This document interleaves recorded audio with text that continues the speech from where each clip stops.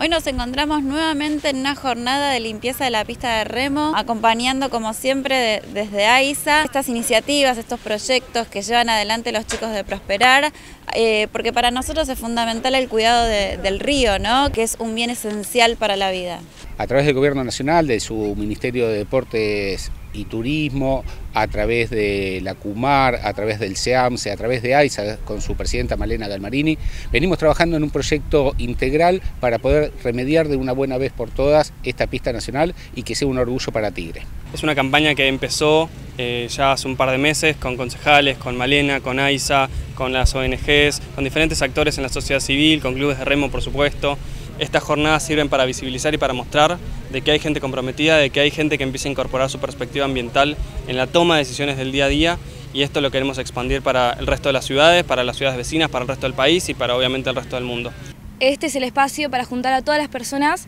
que están comprometidas por el medio ambiente, pero también por su pista, por la pista nacional, por Tigre. Aprendemos que la basura no es un hoyo negro que hace desaparecer todo, es un paso más para lograr esa conciencia colectiva que hoy necesitamos.